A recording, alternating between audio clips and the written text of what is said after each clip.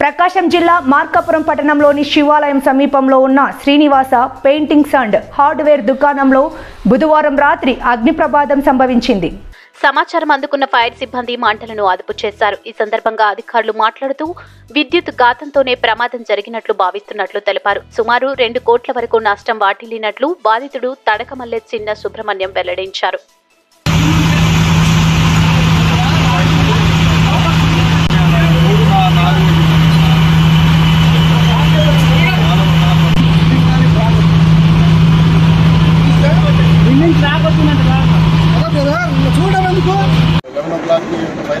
జరిగింది. శివాలయం మార్కాపురం నాయుడు వీధిలో ఉన్న శివాలయం టెంపుల్ పక్కన హార్డ్వేర్ షాప్లో టీవీఎస్ హార్డ్వేర్ షాప్లో షార్ట్ సర్క్యూట్ వల్ల అయిందని అనుకుంటున్నాము. ఫైర్ సిబ్బంది అంతా ఇమీడియట్గా రెస్పాండ్ అవ్వడం జరిగింది.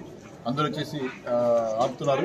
సో చుట్టుపక్కల హౌసెస్ కూడా మేమంతా వికెట్ చేయించాము పవర్ కట్ చేయించేసాము ఇమీడియట్గా ఇంకొక హాఫ్ అన్ అవర్లో ఫైర్ అంతా కంట్రోల్ వస్తుంది. మన ఫైర్ సిబ్బంది అంతా నాలుగు వైపుల నుంచి ఫైర్ వాటర్ స్ప్రే చేస్తున్నారు.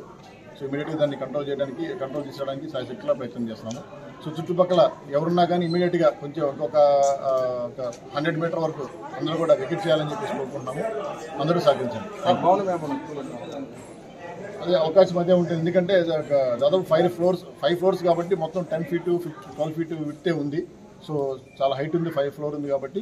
ఎందుకంటే అంత టెంపరేచర్ అంటే more than five hundred degree temperature ఉండే అవకాశం ఉంటుంది కాబట్టి కొన్ని టెం అక్కడ గోళ్ళ కూడా వాల్స్ కూడా బ్రేక్ వస్తున్నాయి. సో అందుకని ఫైర్ సిబ్బంది కూడా వచ్చేసి దూరం నుంచి మొత్తం స్ప్రింకర్స్తో వాటర్ వాటర్ కొడుతున్నారు